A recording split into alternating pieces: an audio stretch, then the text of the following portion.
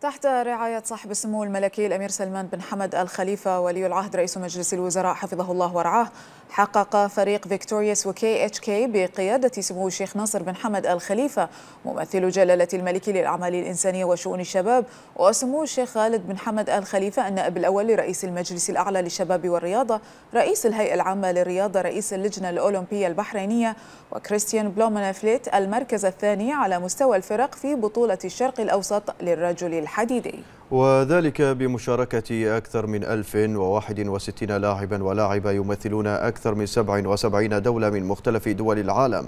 وشارك سمو الشيخ ناصر بن حمد الخليفة في سباق الدراجات واستطاع أن ينهي السباق بسرعة فائقة ساهمت في حصول الفريق على المركز الثاني إضافة إلى تميز سمو الشيخ خالد بن حمد الخليفة في مسابقة السباحة ولعب دور بارز في تتويج الفريق بالمركز الثاني. قبل أن يتألق النرويجي كريستيان في سباق الجري وأعرب سمو الشيخ ناصر بن حمد عن سعادته بهذه النتائج التي جاءت بجهود كبيرة لسمو الشيخ خالد بن حمد وكريستيان في فئتي السباحة والجري. مشيرا سموه إلى أن هذه النتيجة تعكس الإمكانيات العالية التي يمتلكها الفريق ساهمت في التتويج بالمركز الثاني. وأشاد سمو الشيخ ناصر بن حمد بالعودة القوية لسمو الشيخ خالد بن حمد في رياضة السباحة وتألق سموه الكبير ومساهمته بحصول الفريق على المركز الثاني مشيدا سموه بذات الوقت بجهود البطل العالمي كريستيان في الجري وأكد سمو الشيخ ناصر بن حمد أن مملكة البحرين سجلت نجاحا جديدا يضاف إلى سلسلة الإنجازات